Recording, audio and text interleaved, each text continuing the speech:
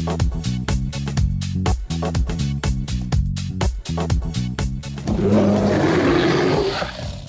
this is Jennifer Tribe of Auvik Networks. I'm the host of Auvik's podcast, Frankly MSP, where we talk about how to boost productivity, efficiency, and profitability in your service provider business. But today, Avic is excited to be part of TubbTalk, and we have a special offer for you later in the show. Stay tuned. You're listening to TubbTalk, the podcast for IT business owners, with our featured conversation with Richard Tubb and Mostyn Thomas of Astrix IT Support. My name is Jeff Nicholson, and this podcast is all about helping you grow your IT business. In this episode, Richard talks with Mostyn Thomas, founder of Astrix Pure Plan MSP. Mostyn started out providing managed service contracts to schools and local authorities. You'll hear about the challenges he faces working in an area with no large businesses and how to provide low cost support that also protects the customer. This episode was recorded in person between Richard and Mostyn at the Network Group event in the UK. And now, without further ado, here's Richard Tubb talking to Mostyn. Hi everyone, Richard's here with an interview with Mostyn Thomas from uh, Welsh, Wales-based Astrix Systems. That's correct. Tell us exactly where in Wales you are for the uh, uninitiated. We're, uh, we're located in a place called Abercynon, which is about 10 miles north of uh, Cardiff on the A470 there. Okay.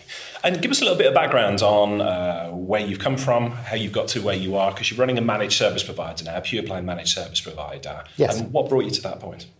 Uh, we started off with an education market, um, which in itself was, was a managed service, but uh, we would sell contracts to, to schools and local, uh, local authority, uh, providing a managed service to them. Um, then moving into, into businesses and uh, sort of break fix and sort of partial man- managed services.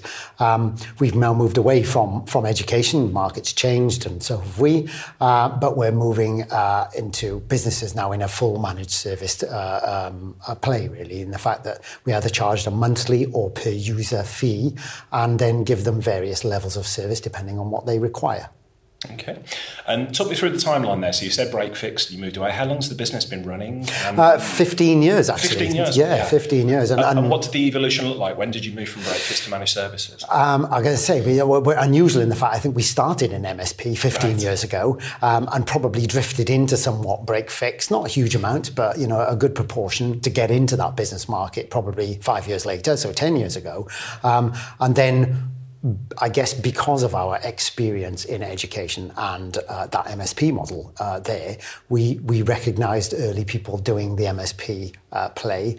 And, uh, and probably seven or eight years ago started to really focus on this is where we need to be, go back to where we started really, but in, the, in the business forum. So the last five years have been just total MSP basically. We've, we've got to that and, and just slowly honed down and, and not got rid of, but either engineered those customers to be MSPs or, or party company and left them uh, to, to another provider really. Yeah, and I know many of the uh, MSPs watching today will be interested if I ask you specifically about the tools and techniques that you use within the business. Sure. But before we go down that road, I'm intrigued what's your definition of a managed service provider? How would you define an MSP? I know there's a um, th- th- there's, there's a wide-ranging definition to that, isn't there? Um, and, and I think a lot of people have got different things. But for us, um, it means that uh, we charge a monthly fee, and the customer and my, my uh, technicians understand what they're paying for and we deliver that rather than having to hit them with big bills or do you know you're going to have to pay for this or, or that sort of conversation which in the break fix world is where you're at um, so for us it's that i know that pure msp mainly is probably um, you know, so much per user per month. And, and we have got some of those clients and we would love to move entirely to that. But our local, our location and our client base still um, restricts us from doing that purely. I've got to be honest, that's where the, the utopia is. That's where we would like to be because it, it, it's clear for customers and clear for technicians and, and for planning of the business. Um, that's where to be. So, so I guess we're somewhat hybrid to a certain extent, um, but moving towards a full model and even exploring the fact of um, adding hardware into that as well. Yeah. So you get a, a, a, one a one fee and you get your hardware, you get everything, um, which would guarantee quality from end to end, really. And you mentioned um, things might be slightly different in your part of the world. How would uh, you've got vast knowledge of how MSPs across the UK and Europe and worldwide indeed work? How would you define the Welsh market and what are the differences between where you are specifically in Wales and the rest of the UK? Um, I think that um, there's a couple of differences. One being that um, the Welsh market is somewhat separated from the rest of the country. Obviously, we are, you know, it is joined, but but there is sort of a cultural uh, change there. So, although uh, Welsh companies will buy off, off, off English, American, whatever companies, there is a there is a um, there's an appetite to buy from local people, yeah. which is across the UK, I realise, but it does seem quite strong. And I know the similar is due in, in Scotland as well. Um, so, so you've got that. And, and I think also um, South Wales, where we're located, um, is very much small business land. There's very little large industry there anymore. You haven't got huge employers. So um, there doesn't tend to be the sort of medium-sized um, employers who are working with those. It's very, very much small business and slightly bigger business. Um, so you have to tailor your offering to who's in your location yeah. or move location. Um, so whilst it's still quite profitable and, and, and everyone gets on you know really well and there's, there's really good business to be done, it's a slightly different type. When I talk to some fellow MSPs from, say, the, the Thames Valley area or, or, or, maybe Manchester, they've got four or five clients that, that, that pay them a lot of money and they, they, can, they can deal with them in that way, whereas we just haven't got that, that, that industry in our location. So you have to tailor your, your offering to that, really. And yeah. I think they're the main differences for us. Yeah, and how does that um, how does that change your mindset? So when you go out and learn from other people within the industry, how do you tailor that for your local market? Um, I guess we have to be careful when we're looking at equipment. People, people. Um, uh, sorry, pause. We have to be careful with equipment that sometimes um, you know, boardrooms, for instance, where wherever might spend five or six thousand pounds on an interactive flat panel or something of that sort of thing, and a, a real high-end laptop to go with it. Um, they're, they're, just not going to do that in our area. So there's no point putting all our eggs. We might, you know, sell the odd one, but we might not do that. And the same is true of the service. Clearly, um, if you're trying to sell something at the top end of that managed service provision, and you're going into someone with ten or fifteen people, they're probably not likely to buy that. You need to tailor your services around that. Um, same is due for things like disaster recovery. Um, you know, there, there, are obviously different levels of disaster recovery and, and, and you, re, you know, how quickly you can return to operation.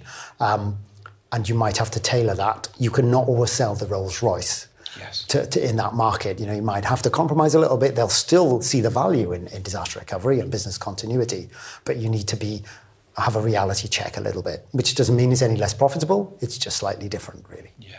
So let's dig a, a bit deeper into Astrix Systems. Um, how many members of staff? You've already mentioned you've got um, 15 years of experience there, but how many members of staff? And if we can, let's talk a little bit about the tools that you use in the business as well. Okay. Um, we're, we're, a small team. There's six of us, um, uh, and, and, it's very engineering led. You know, I'm probably the sales resource and management and bottle washer and yep. everything else.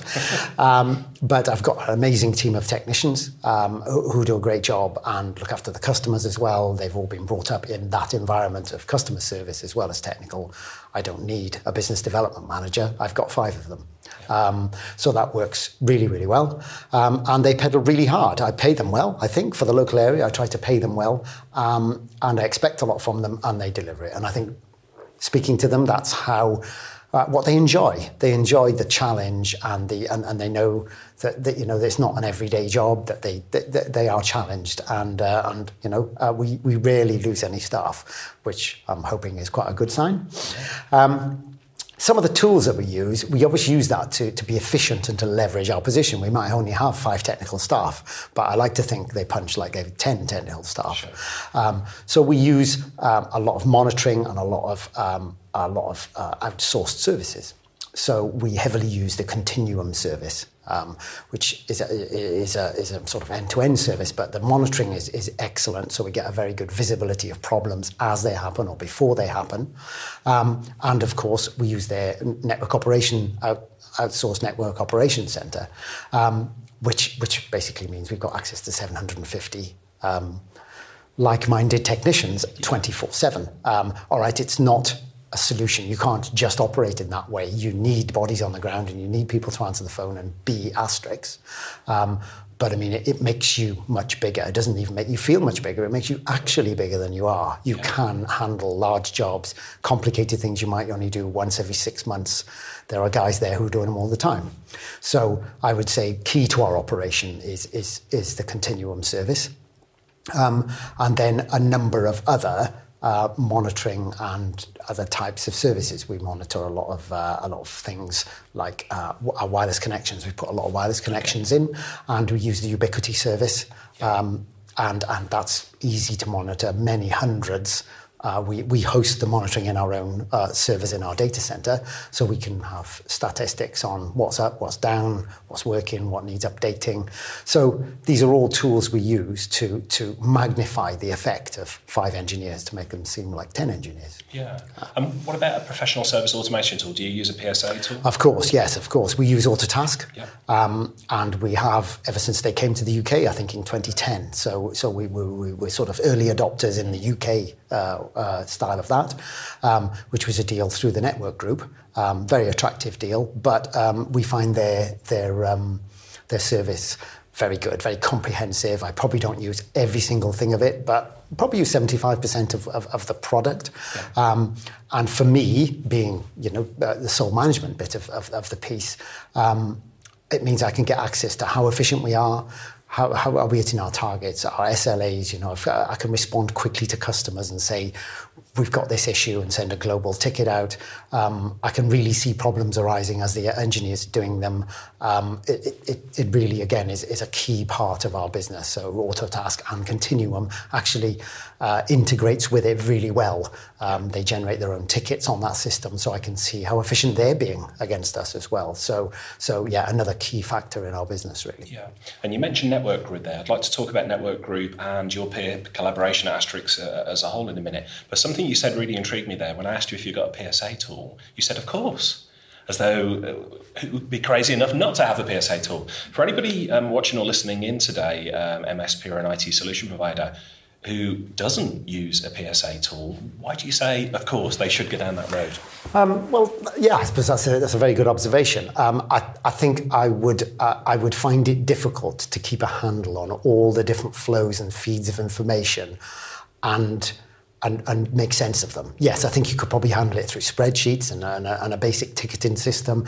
Yes, of course, that's possible. Um, but I think today's customers, even though they may only be 10 or 15 people, they're demanding quality and, and information of what you're actually doing, which when they know that information, they're more than happy to pay your fee. But I think you need to demonstrate that. And with more remote, remote work, and uh, and sort of proactive fixing, um, you spend less time actually, you know, saying hello to people and fixing, uh, going under desks and things is, is one of the things of the past, really. Um, so you're not in their face as much. Yeah. So you need to be proving the points that you're doing. It's not necessarily a, a sort of um, a money play. It's more about look, we are here and we're caring for you and we're looking after your system. And reports yeah. sort of demonstrate that. Uh, these reports are easy to generate from a PSA tool uh, because it's got all the information coming in. You really, really need to select the boxes and, and, and, and sort of alter the parameters as to what you want to display, and, and it's there. So there are many other aspects to it, but I think the most important is to make sense of all that information. And there is a huge amount of information there, you know. So yeah. you know, from from how much time an engineer is spending on something and how many, you know, someone wants requests for, for, for a quote for something, everything we feed into it so I can see how efficient I've been and how efficient my engineers have been. Makes sense. And uh, one of the things about a PSA system, you already touched upon it, the information that it um, uh, can spit out basically for you, all depends on the information that you put in there in the first place. So I'll ask you just between you and I, because there's no one else around here. Of course. Moment, how good are your engineers at actually logging tickets, updating tickets, and entering their time in the system? Um, I think I know what you're getting at, and I've had many conversations around this. Um, and i have got to be honest, I, I, alluded earlier, they are a very good team of engineers and stroke business development people. So they realise we have many sessions, training sessions on how important it is. It's not, I'm not checking up on them. It's really important that they understand that by by recording everything, we understand whether, which customers are profitable and which aren't. And clearly, if we've got lots that aren't, you know, there's going to come a point where we can't pay the wages. So it's, it's, it's self-preservation to, a- to a lot of larger extent, and I try to impress that on them. I don't try, they get that. Um, so I think, yes, um, some organizations have got a culture sometimes that they don't report everything or they over-report things. Um, I guess that's a culture thing, and I like to think we've instilled uh, the right culture. But um, you know, the job of the business owner or whatever is to sanitize those reports and make sense of them, I suppose. So, so yeah, you really have got to make um, make sure that the information going in is clean. I guess garbage in, garbage out. Absolutely. Exactly. Yeah. Really interesting insight there, and I think uh, will be of interest to, to a lot of people listening and watching this about the culture of the business. Um, Yeah. I speak to MSPs quite a lot, and the reason, and it, you knew where I was getting at there. The reason I asked that question about the information that goes in is so many MSPs that I come across really struggle to get their engineers to log time, Right. um, because the engineers just don't understand why Yeah. they need to. They say, "Hey, I'm too busy fixing issues Yeah. to log time." So it sounds as though you've nailed that, but and it sounds as though you've nailed it by um, letting the engineers know that their job isn't just to fix issues. It's they're part of the business as a whole, and the time is needed to be logged to understand where you could be more profitable as a whole business. Um, I would agree, absolutely. Um, I'm, I'm, I'm very much uh, into, into uh, uh, instilling a very good business culture as well. And, and the engineers, I may not get it right all the time. In fact, I'm sure if they're watching this, they will, uh, they will probably agree. But I, I like to share the vision of the, of the whole business, where we'd like to go. I include where they'd like to go into, into our discussions as well. We regularly meet, not just team meeting, let's have a, you know, find out who's a pain and who's not. We have genuine strategy team meetings. Um, and, and I like to include them in the business strategy. So they're all bought into the whole exercise. And as part of that, as you just said, they understand the importance of knowing who's paying our bills and who's not paying our bills. Um, and I believe, I believe IT people are, you know, everyone likes to pigeonhole this, but I think our IT people are now getting really quite business savvy. And there are a lot of technicians out there who do understand this. They've just never had a chance. Yeah, absolutely.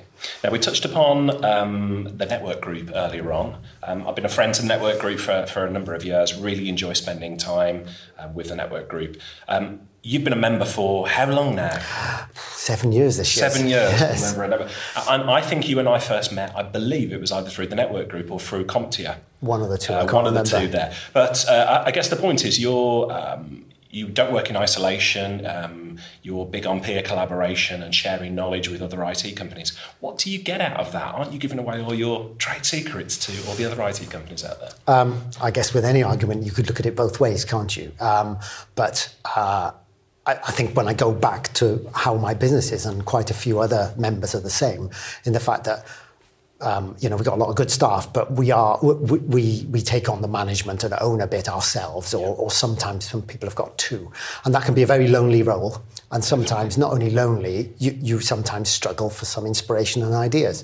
Um, to join a group of similar-minded people who have exactly the same problems as you and the same issues, and may have a solution to one problem that you've got, and you might have a solution to those, is is basically um, you know inspirational. To be honest, um, it, it it just makes life so much easier. Um, why we share? I guess it's because it's based on experience. You know, you do it once, and it's a great result. You're going to do it again. Um, um, so so you see other people doing it when you first join the group, and you're a little bit a bit of trepidation going on there. Yes, why would I tell these people what my golden egg is? Um, but you soon realise you give one golden egg away, you get six back. Uh, and I think that is the key, absolutely. I love it. Yeah. Where else do you look to for your inspiration, advice, motivation within the IT industry? How do you how do you keep your soul sharp? How do you keep your mind sharp and, and learn about new things? Staying with Network Group, I would say I pick up a lot there. They, they have a lot of great quality speakers. They engage yourself. So, so go to you guys. A lot of great quality speakers and me. no, no. Um, so, so, so we get a lot through there. Obviously, other industry speakers like yourself. I got a CompTIA. You've obviously seen me there, and, and they, they hire a lot of great speakers too, do, and that yeah. sort of thing. So I think you have to be careful not to spend too much time out of the office. But I think it's really important when you run a business um, that uh, that you you take direction and new ideas. So I think I, I book myself on probably three or four uh, key events per year that I know I'm going to get good quality from, and of course, probably five network group uh, a year. So that's probably nearly one per month, but it's essential business development time that you've got to invest to go forward. Yeah. Um, uh, you, you, know, you can, particularly on your own, you can become stagnant very quickly. Um, so there are definitely some key events, and I know on your website you normally put a calendar of the really key events, yeah. and that, that, that's, that's really good because they're really important. Fantastic. Uh, are you a book reader? Do you read a lot of books or not? I do read quite a few, and, and, and very fortunately, the, the managing director of the group uh, is an avid book reader, so he's always got something to re, uh, to uh, to recommend for you. So uh, so I'm, I'm, I'm clearly uh, I'm clearly always doing that. And what's the what was the latest book that you read that made an impression on you? Um, I think the latest book that I um, that's made an impression on me was one I revisited actually. Okay. I think it's one that I gave to Phil at some point, and he's probably not going to uh, believe me. But I redid it because uh, uh, about six months ago, I gave a copy to all the staff, which was um, The Fred Factor. Ah, yes. Which, Mark which Sanborn? Is, Mark Sanborn, yeah. which is a very simple book to read and what have you, but as, as usual, the simple things are the best. So I've read quite a lot, um, but, but gone back to that one, reread it and thought, I'm going to buy them all a copy. So I did, um, and, and, and, and the, the, uh, the, the lessons are, are still true today. Yeah, yeah. So that's the Fred Factor by Mark Sanborn. We'll include that in the uh, in the show notes as well for anybody who wants to get more of it. Do you listen to podcasts, visit blogs, things like that? Is there any that you'd, you'd pick out? Um, and I should say I'm not fishing here for influence. but, I've uh, got to be honest, sometimes it's difficult to get enough time to do it, but yeah. clearly I, I, listen to yours. that's fine. Um, and there's quite a few around that I, I, search around. I'm struggling to remember them right now. I think, you know, um, there are quite a few signposted from MSP Mentor yeah. and a couple of other sites which you sort of end off, you know, uh, um, sort of going off on a tangent and finding them. But so, yes, um, again, it's, it's valuable time for development of your business. So, yeah. so I do I do look at a few, but I'm going to be watching this one. Let's revisit tools for a moment. Something you said um, I, found interesting. You talked specifically about disaster recovery. Right. Do you use uh, uh, and business continuity? Do you use a specific tool for that, or is it a hybrid? Is it something you built yourself? Um, uh, all of the above, unfortunately, mm. at the moment. Uh, and I think that market is very much that way. Uh, we've held a couple of sessions here at Network Group around it, and, and, and there were so many solutions. Yeah. I think we probably use three at the moment. Um, we're using, starting to use the Continuum uh, offering, which seems a very, very good one, backed by the Network Operations Center, obviously. Um, and we use the Datto uh, uh, alternative as well, which again is a great piece of equipment. Um, more high end, and again, I have to be careful going back to where we are in South Wales. Um, you have to tailor to what to what people can afford. Uh, and we use our own one. We've got our own data center. Well, you know, we've got our own racks in a data center local to us.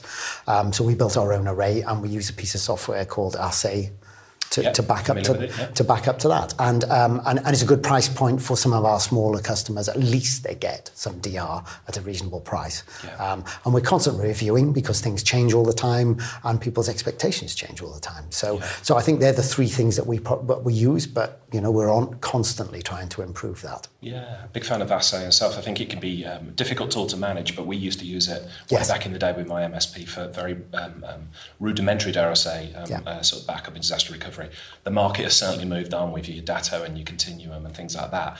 But again, you make an interesting point about um, it's what the market will bear and what mm. the local market will bear. So yeah. if people don't see the value in it, they're not going to go ahead with it. So. Yes, and, and, and, and I think I'd, I'd rather give them something than yes. nothing. You know, I, I yeah. mean, we see so many infections, crypto infections, you know, rather than just you know, fire and flood, you know, they, they tend to be much more, um, are much more relevant nowadays. So you, you need to give them something. You yeah. need to give them something. Yeah. Um, and, and you're right, it's not quite as comprehensive, but at least it works. Exactly, something. Uh, just off a tangent, uh, CryptoLocker, have you uh, had any clients who have been affected by that? How have you, have you helped them out of that quite frankly, horrible situation? Uh, unfortunately, yes, we've had many. Um, we, uh, the, the, direction of our company is heading, you know, headlong towards security and and and, uh, and, and sort of preventing that and and hopefully recovering people from it. Um, but yes, many, many. I, I, can't think of the number off the top of my head for 2016, but I can tell you how many are in the last three weeks of December, and that was two. So, um, you know, one was a laptop, which was a fairly important, and another one was a server, a whole system. Wow. Um, and and um, and it's not easy. It's not easy, and it's a difficult thing to manage those customers as well because they're at a point of extreme stress. Yeah. Um, so you have to, you know, you have to really get your kid gloves on. You really want to say, "I told you so." You're not taking provide. So you must find it incredibly frustrating, though, to give advice and then to see it. Yeah. It is, it is, and I think people watching will probably, you know, echo that. You know, they will say, you know, I told you this would happen, or you didn't spend the money, and I did tell you, and what have you. But y- you have to be sort of magnanimous about it and, and think, right, okay, this is how we're going to go around fixing it. It's going to cost you a bit of money, but this is how it is. Um, and a couple of our, our, our clients in the past have then turned into our best evangelists, really. Yes. Uh, once you've recovered them and they've done it, they, they, they, you could wheel them out in front of anyone and they will tell you how to do it. So people are very appreciative as well. So, so that's quite a rewarding aspect for our engineers in the fact that you basically are rescuing someone's business. Um, and they quite like that. The engineers quite like that. And obviously customers tend not to shout and scream. They're really appreciative as well, which everyone is happy with, obviously. So, so yes, the numbers are vastly on the increase. I wish I could tell you how many. There were lots, but two in the last three weeks of, of December tells it all, really, and that's pretty consistent throughout the throughout the year. Um, we've had everything from um, actual people. Uh, remoted into the box manually uh, to many of the automated crypto locker attacks. Um, advanced persistent threats, you name it, we've seen it. Um, we've had people pay the ransom and not pay the ransom. We've had people have uh, phishing attacks and paid £22,000 in, in, uh, from their bank. They did get some back, but, you know, I wouldn't, I wouldn't have uh, been extremely happy about that. So, again, we've now started to move into education you know, um, start to go around saying, you know, uh, teaching some staff what to look for in a phishing email because obviously notoriously difficult to defend against. Um, but if we can, uh, if we can educate to a certain extent, like you never take someone, you never pay something just based on an email. First of all, end of end of sports, really. Um, so, so some basic security training can help a lot, you know. And and I find that quite rewarding. It's quite a ni- it's a new thing Yeah. to talk about in IT, and it's different, you know, rather than just trying to keep the email server up. Yeah. Going back to something you said earlier, Mostyn, about um, uh, customers who have been through that pain um, then become evangelists and you know almost sell, sell you to other people. Um, what do you do in terms of marketing, apart from referrals, apart from word of mouth, which clearly you get a lot of business through, you're good at what you do, people talk about you to, to others and recommend you. What do you do to proactively go out and find new business people who, who don't know about Astrix Systems? I think we've tried a lot of, uh, you know, we've tried the flyers, we've tried all these things for various products and, and, and not really worked particularly well. And that's probably because we're probably not the best at marketing. But we put most of our eggs in the basket uh, in the way of social media now. So, so we do, we create, we've got a blog site, we create lots of social media bits. I try to write a bit and I've got, I've got someone who does it for me. Um, so we find that generates a nice amount of, of, of action to our, to our website and, and to our contacts and stuff. So, so I think that's really good. And the, the other area that, particularly with security, um, people uh, like to really talk in depth about it. I think they like to they like to really discuss that with you. Um, and we've put on a series of events, um, you know, where people can come along. And uh, increasingly now we're going to do some co-events with our accountants uh, practice. Brilliant, yeah. So because people quite often will come and talk about, you know, that maybe they're, they're um, moving to a cloud-based accountancy system, but also they might think, yes, security is, is something I need to think about there, and, and you've sort of got two, you know, they, they, they got two birds with one stone, and they'll they'll make that journey, and and quite often they will go to an accountant's practice, not an IT uh, an IT uh, reseller. Interesting, So yeah. so partnering up actually we find quite qu- works quite well, and, and we're, we're really trying to ramp that system up a little bit because we've had great success from it. Yeah, yeah. So as we wind down our conversation today, um, I want to throw this question at you. And uh, actually, I want to throw this question back at you. Right. You originally asked me this question, and I thought it's fascinating. If you were to start Astrix again tomorrow, or if you were to start your own MSP business tomorrow, what would you do differently? Um, it's a very good question. Well, I never came up with it. That's why it's a good question. Um, I, I, I really think, based on where we are, uh, where we are located, I think I would probably almost definitely go cloud and cloud security only. Uh, I wouldn't have anyone on the ground. I would be remote only and, and deal in that area if I was starting today. Um, I think there's huge potential in that area. Um, and you can work alongside current ISPs, uh, um, current uh, providers and internal departments without any threat. So I would think marketing would be a lot easier.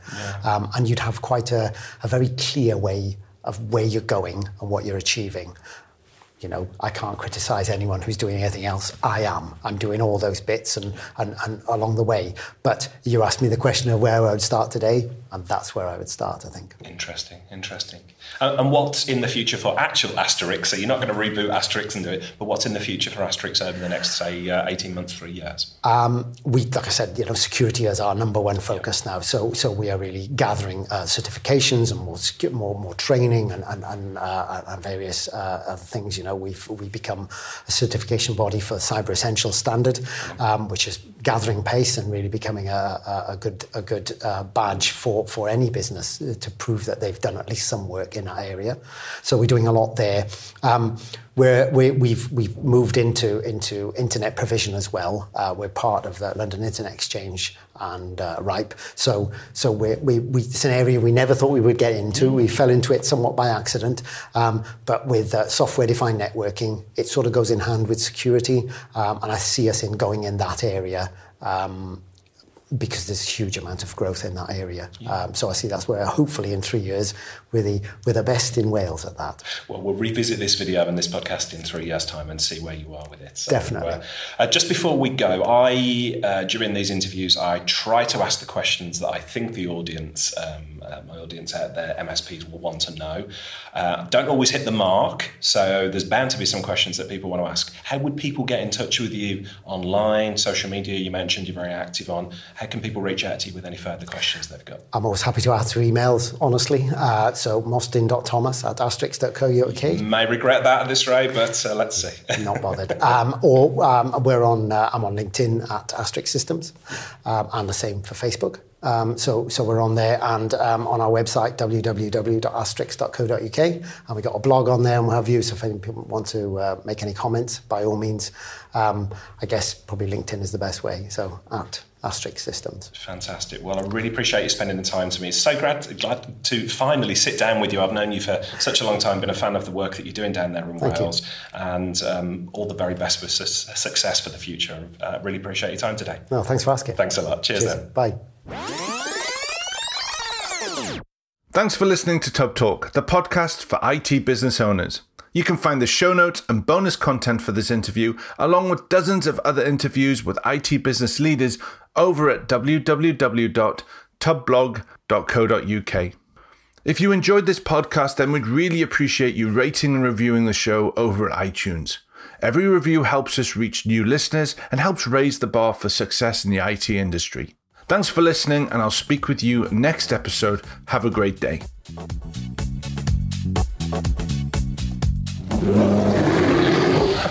Hey, it's Jennifer Tribe from Auvik, back to tell you about that special offer. First, what is Auvik? Auvik is network management for MSPs. Our cloud based software gives you full visibility and control of network infrastructure, things like your client switches, routers, firewalls, and access points. Integrate it with an endpoint RMM system, and you have complete control of a client's IT environment. With features like real time network mapping and inventory, automated network monitoring that works right out of the box, and automated config backup and restore, Auvik is the most efficient and profitable way for MSPs to manage network infrastructure. But don't just take my word for it. This is what Martin Hines of BCS has to say about us. He's one of our MSP partners in the UK. The biggest cost to any business is the staff, and for us, the engineering resource. So we want to make sure that for every hour we're spending supporting a client, we're getting the most out of it. Auvik as a tool has saved us so much in terms of engineering resource that we are a more profitable organization. Want to know more? Sign up for a free demo at auvik.com slash tubbtalk. And when you subscribe, your first month is free. That's right, one month free on any Auvik subscription if you sign up for a free demo using the link auvik.com slash tubbtalk. That's A-U-V as in Victor, I-K. This offer expires November 30th, 2018, so don't wait. Go to auvik.com slash tubbtalk today and sign up for your demo.